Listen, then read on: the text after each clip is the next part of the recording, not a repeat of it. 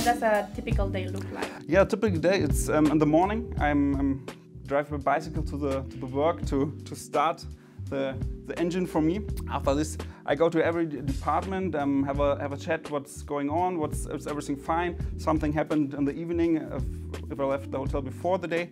Um, greet every employee. That's it's very important for me to go in contact with each of the ladies and gentlemen from the hotel um, to have have a look if there are anything I have to fix or I have to see what going through.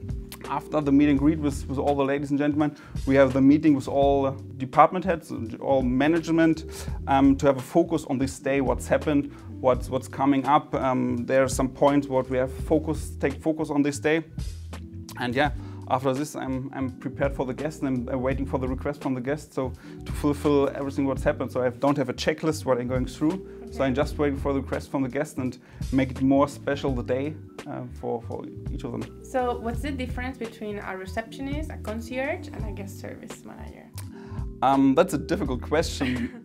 the, the concierge is the specialist if you need some tickets, if you have a concert what's fully booked out, and um, you need tickets. So we have five Clefs d'Or concierge, and with this person, I know I can have everything. Um, then the front desk manager is responsible for this team, for the check-in, that's everything going in, in this part. And I'm between over this department to see, okay, it's working with the telephone operator, it's working with the club lounge, concierge, that we have all the information what we need. We have a group arriving, when, at what time the luggage will come, the rooms, at what time should be ready, to give the information to the housekeeping team, and then the concierge that everybody is on time, uh, on track, and we have all the information on the guest. Um, normally you don't see me, so that's good news for the guest for me. But who do you report to? My boss is a um, rooms division manager. And so what's the most challenging part? a guest comes up to you and uh, you want to wow the guest, you want a special moment to, to share with the guest and you don't have any information from the guest. And then you have to listen directly and very, very um, close to the guest, what is special for him, in which moment the light from the guest is going on and find this moment and make this special for, for those guests. So.